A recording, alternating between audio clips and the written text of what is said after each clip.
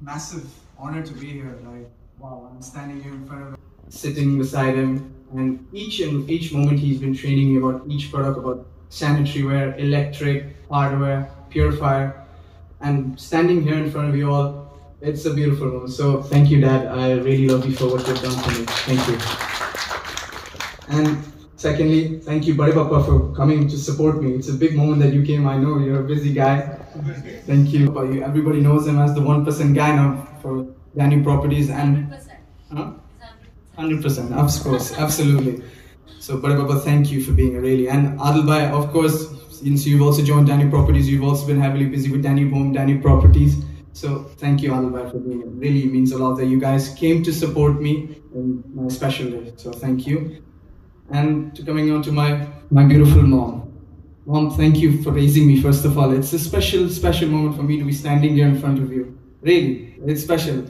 Don't cry, don't cry. I'm standing here only in front of you because I'm standing here because of you. So, you're my biggest inspiration. Please take care of her.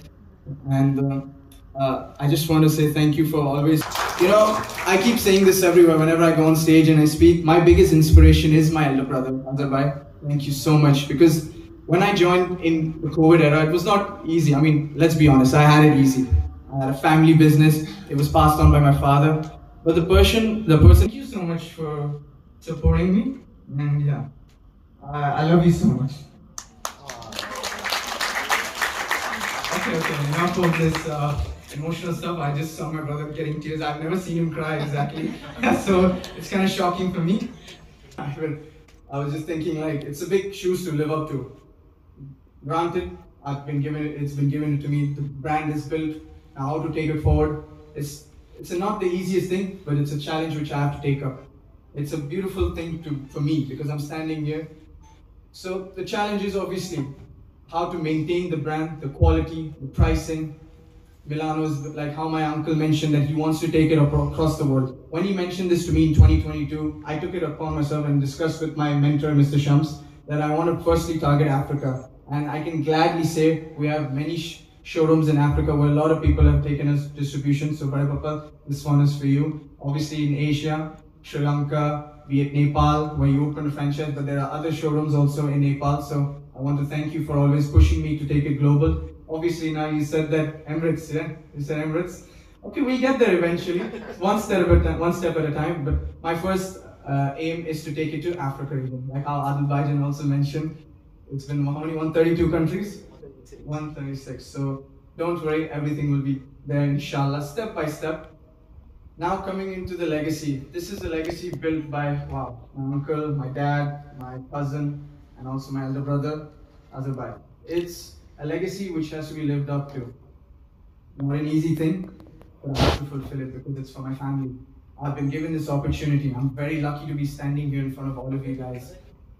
So it is going to be a massive challenge, but I have taken up taken up on myself.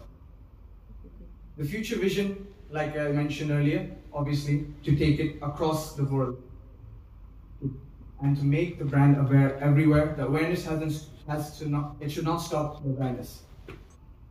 Mainly for me, what I've seen now is that how to take the marketing to another level. I want Milano's Instagram to be going higher.